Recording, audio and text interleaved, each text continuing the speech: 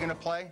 We're going to attack. We're going to be a team that plays aggressive. We're going to be a team that sends numbers forward. We're going to be a team that this community is going to be excited about.